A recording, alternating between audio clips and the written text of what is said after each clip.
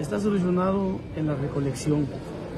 Tenemos ahí unos patios de movilidad, o sea, donde recogen los camiones pequeños y se está tratando en ondas a Ciudad Cerdán.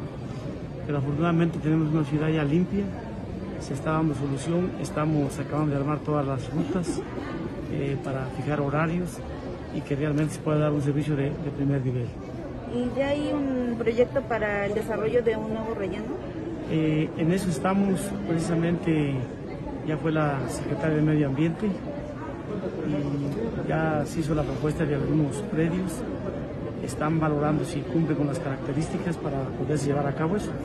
¿En dónde están ubicados estos predios más o menos? Eh, están en el ejido de, de, Tula hacia la colonia San Miguel, no, perdón, de San Pedro, el de San Pedro hacia la colonia San Miguel, a 8 kilómetros de, de, la, ¿Y es una zona idónea, digamos, para la recolección y el depósito